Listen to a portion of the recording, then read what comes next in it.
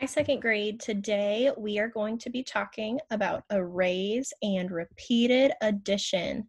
And this helps you start to understand the foundations of learning multiplication for third grade.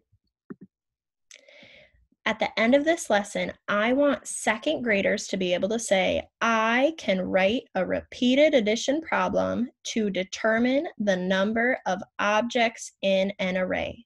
Right now, you might be wondering, what is a repeated addition problem and what is an array? Well, we're going to learn that today. So first, what is an array? Arrays are objects that are put into rows and columns we have our array right here that is made of the object cupcakes. And you can see our columns and our rows. Now a column goes up and down. When you think of a column, you can think of pillars, like the pillars on the White House. Or you can think of it as yourself when you stand up straight and put your arms in the air, you are making yourself into a column that goes up and down. Arrays are also made up of rows. A row goes side to side, like these chairs, or maybe chairs in a movie theater or at a concert. You can also think of rows like when you lay down to go to bed at night, you're putting your body in a row. Or we plant corn in rows in Iowa. Now, how do we write a repeated addition problem? We already know that arrays are objects that are put into rows and columns. We write repeated addition problems to determine the number of objects in an array. So I know that this is an array, an array, but I want to know how many cupcakes I have. How am I going to do that?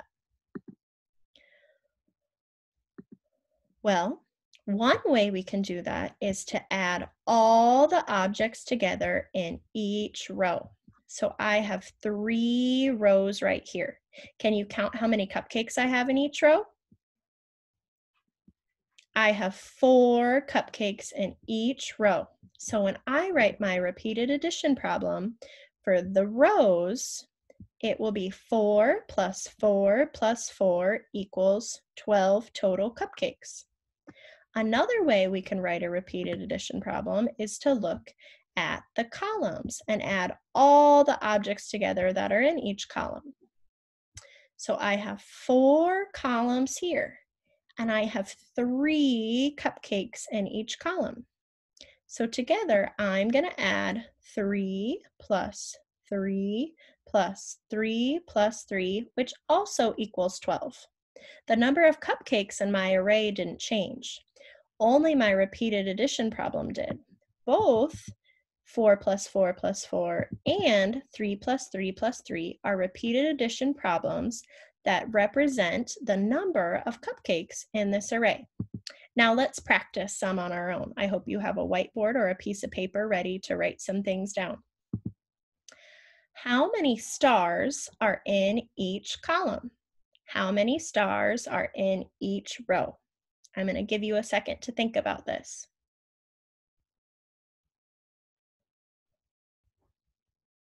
For some help, remember, a column goes up and down, and we have three stars in each column.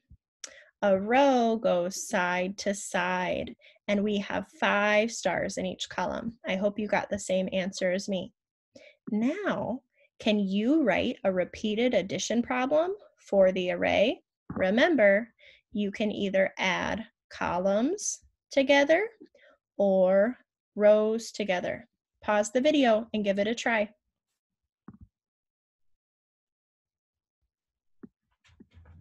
Perhaps this can help. Three, three, three. Here's what I got. 3 plus 3 plus 3 plus 3 plus 3 that was adding my columns together equals 15, or 5 plus 5 plus 5 equals 15. That was adding my rows. Both of those are repeated addition problems for the array. Let's try another one. How many hearts are in each column? How many hearts are in each row? I'm going to give you a second to think about this so you can pause the video.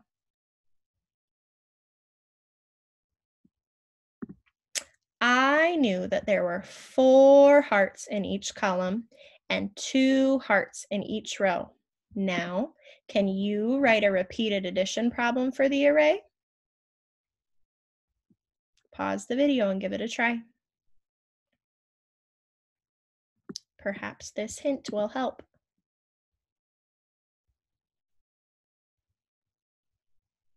Here's what I got.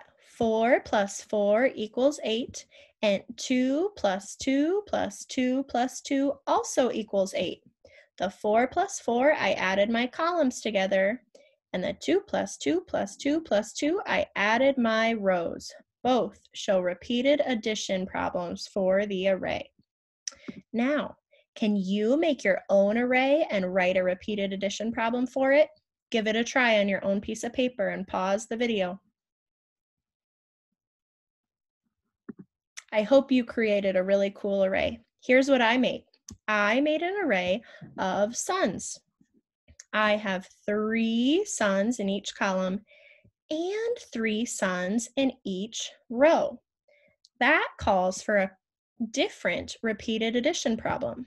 I don't have two separate repeated addition problems because no matter if I add the columns together, 3 plus 3 plus 3, or the rows, 3 plus 3 plus 3, I'm going to have the same problem and the same answer of 9 total suns. Remember, arrays are objects put into rows and columns. To add all the objects together in each row or column to write a repeated addition problem. I can't wait to see what you learn this week while you're exploring arrays, and I look forward to seeing your work.